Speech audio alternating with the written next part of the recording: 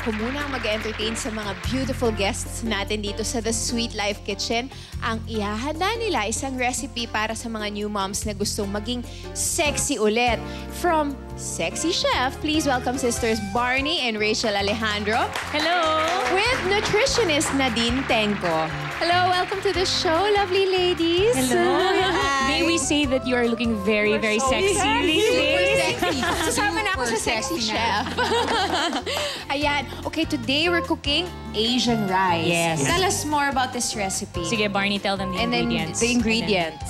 Well, anyway, um, this is our uh, famous recipe in our new program called Body After Baby. Baka we can start Body cooking it Yeah, let's cook it already. baby. So the pan, you know, it has to be hot. Let's add na the canola oil.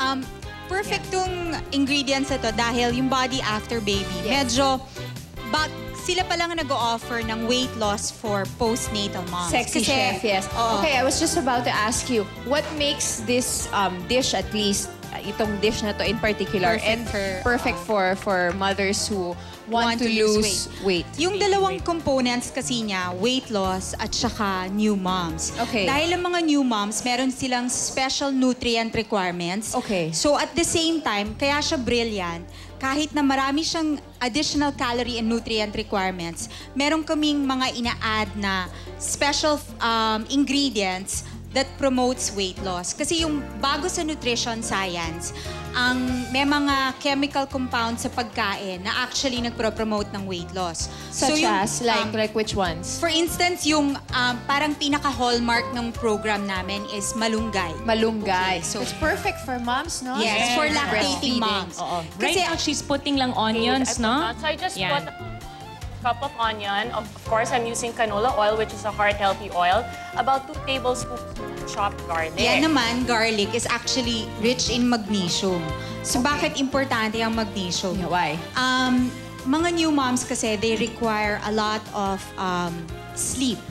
After, di ba, mahirap matulog because of their babies. So, um, uh, garlic contains a lot of magnesium that promotes sleep and actually alleviates yung tinatawag na postnatal depression. Ayun. Oh, really? What Yeah. I learned Magnesium also is is good. that, di ba, if, if you're sleep deprived, you're also uh, likely to retain Gain- fat and and gain gain weight. weight. That's Yes. true. Weight. actually, That's hindi why- totoo na pagpuyat kayo, pumapayat kayo. Hindi totoo Hindi yan. totoo Actually, yun, tataba lang kayo. And because actually also, apart from your body releasing hormones that will make you fat, I think you also crave pa for salt Yes. and sweet stuff, Right. di ba? Yeah, Right, at oo. saka because tama ka because your your body releases stress hormones. Yes. Cortisol tinatawag. Cortisol Pagka there. kulang yung tulog mo, it uh, promotes the storage of fat. Ayan. So, So, kaya ano- ka tumataba. So, ano naman yung nilagay So, natin? dapat taga matulog tayo. Oh, halika na, tulog I na. put in naman half cup of sitaw. Ah, okay. Sitaw. Chopped Sitaw sitaw. is um, a legume. It's uh, rich in protein. Yes. Isa pa yan. That's very important in in sleep and in alleviating depression, Depression, also. legumes, Oo, protein. Tapos yan naman, Parang ito carrots. din, oo,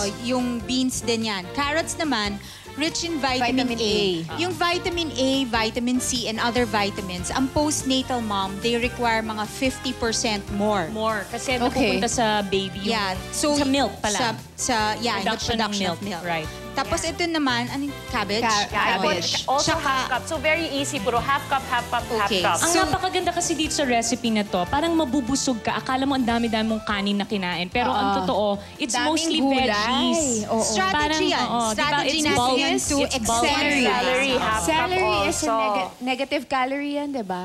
It's also, it brings out the natural sodium of food. And Oo, yeah. so It's a nat- oh, flavoring Ah, vegetable. flavoring. So instead of adding more salt, lagyan mo ng celery, to bring out the natural flavor. Oh, wow. They say this also promotes like your to have faster metabolism. Yes, yes, Okay. it does. Of course, the green bell Ito pepper naman, green- and the red. Half Green cup pepper tsaka bell peppers are actually the best source of vitamin C. Oo, vitamin best, C. Best source of vitamin C. And you need that kasi um, you need to repair for um, for nutrients. Um, you need vitamin C because stress uh, repair siya and then it also Your collagen also, so if yes, you want to tighten your collagen. skin, di ba? Promotes collagen production. Oh, you know a lot, ah. Yeah. Siyempre, Are you trying to- yeah, that's healthy. why. Look at her. Really trying to get into the whole thing. Oh, try po Ito, half um, cup the of green peas. Oh, for Okay. protein Peas. naman siya. And also rich in vitamin B1 na tinatawag for energy. Okay. Okay. Kailangan Energy niya ng moms. Diyos ko. Ayan na. Yan yung magic. the star. hallmark. The Okay. star. Okay, hallmark yan ng body Half cup. after baby. Okay, I have to explain that usually, inisip natin na malunggay is just good for lactating moms kasi ito for breast milk production. Pero um, Sexy Chef and I were the first ones to use um, malunggay Yes. as part of weight loss kasi it's very rich in calcium. Tapos fortified siya. Fortified siya with a lot of vegetables like siling labuyo, diba? lemongrass, yung So, kanyang ipni. talaga. So, of course, this is now... Brown, The brown rice. rice. Two Brown rice cups. naman, mataas siya sa folic acid, which is super duper important for new moms. Okay. Tsaka lactating moms. Lactating. Brown rice also rich in vitamin E. So yan din, So- great skin, energy. Okay, so Okay, ito ang now, ating... Doc, There. So see how colorful it is? You just Yes. plate it. Not just colorful ha, it extended the rice. Yes. Yes. Yeah. So instead of eating, Eating so much More rice. rice. more oo. for less. Actually, So, super, super nutrient packed. so one cup na serving, there's only one third of rice in it. The Yeah. rest are vegetables. That's Yeah. fantastic. It extends it with what we call volumetrics. Dumadami siya because of the vegetables that you put. And this is very alkaline. Oh, yeah. Please, please, So, please, sir, please Yeah, try I it. guess I'm gonna get a bigger This spoon is what I had for breakfast today, by the way. Really? Okay, Yeah. ito na yan. Super ha? nakakabusog. Ay, pala may... Tsaka fully cooked na to. Wait lang, ha? Ayan. Ilang minutes na? Wala pang five. Yeah, it's very, very simple to do. And of course, kung gusto ninyong orderin ito as part of the program of the Body After Baby, you can call us at the Sexy Chef. Masarap?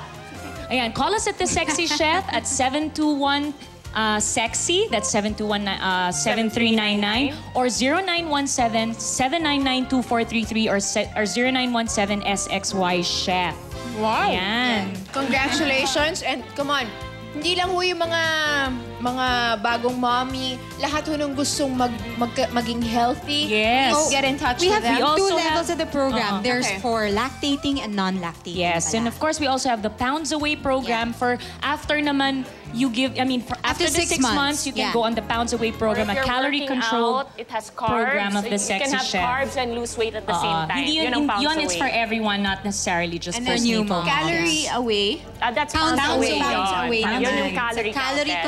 Controlled, portion controlled diet. By the Sexy Chef. And of Yeah. course, Miss Nadine Tenko. All right, so basically, whatever lifestyle you have, whatever Exactly. you're going through, they will have a solution for you. So thank you for Thank being you. here. Thank you. You're Thank welcome. you. Thank you. Well, guys, up next, makikijoin si Rachel sa paggawa ng unique kitchen decor sa ating Project Time with Lucy. So stay tuned.